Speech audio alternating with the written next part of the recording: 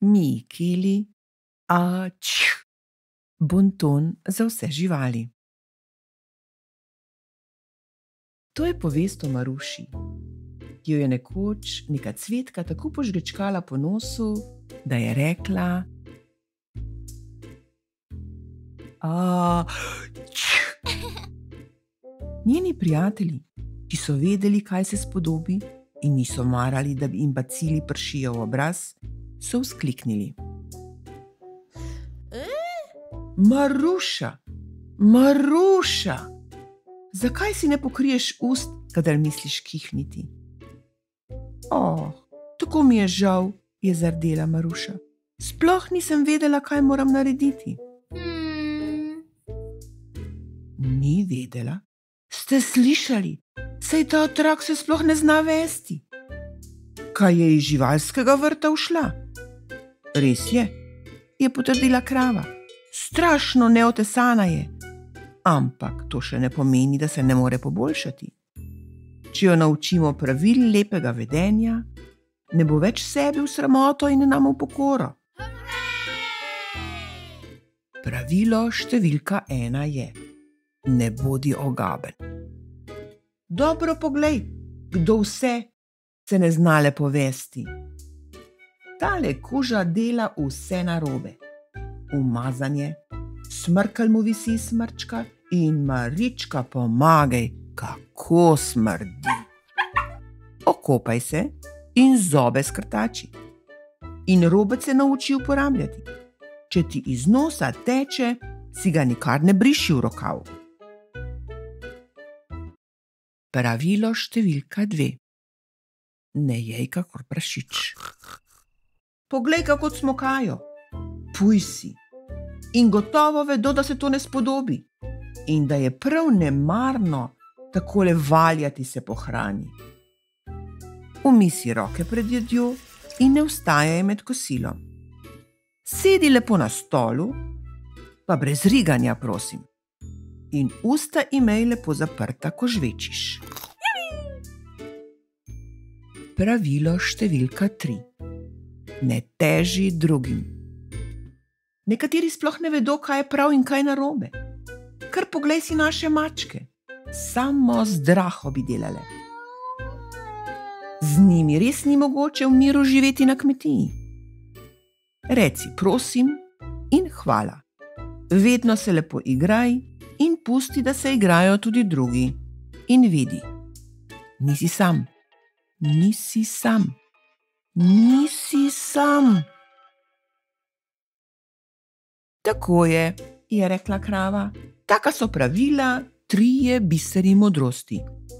Ne bodi smrduh, kakor kuža, ne jej, kakor prašič, ne ravsaj se, kakor mačke. Zdaj so se ujezili mačke in prašiči, pa tudi njihovi prijatelji na drugih kmetijah. Še vrvi ne smemo vleči, ne maramo jih več, pokvarili so nam kosilo, v jog so nas spravili.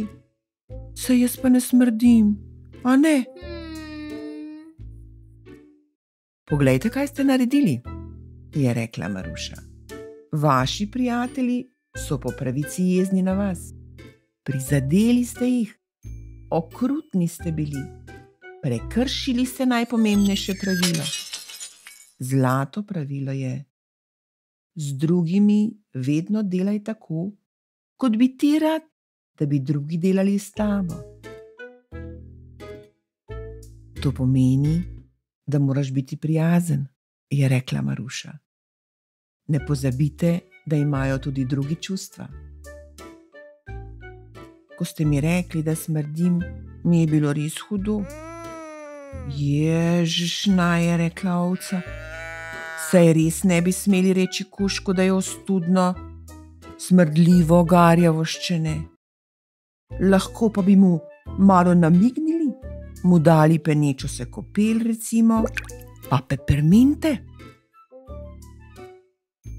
Če si prijazen, je rekla Maruša, te tudi drugi začnejo posnemati. Prav svinsko ste me ozmerjali, če bi radi vedeli. Tako me že ne boste naučili lepega vedenja. Presneta reč, je rekel kon. Se res ne moremo na silo spremeniti prašičev. Če pa bomo vljudni z njimi, nas bodo začeli posnemati in se bodo poboljšali. Če boš prijazen do drugih, je rekla Maruša, bodo tudi drugi prijazni do tebe. Vrv, ki smo jo vlekli, ste nam prerezali, z vami že ne bomo več govorile. Ojej, hata, je rekla koza, polomili smo ga. Če prav ga pri mačkah mimo grede kaj polomiš. Ampak, če se jim bomo opravičili in se jim kako odkupili, bomo lahko spet prijatelji. Storili so tako in spet je bilo vse lepo in prijetno. Vsi so pomagali drug drugemu in se skupaj učili lepega vedenja. Prašiči so tiho srkali iz čajnih skodelic, kuža se je pošteno oprhal, muce pa so skakljale okrog in delile cvetlice. In ko so dale eno še maruši, se je zaslišalo.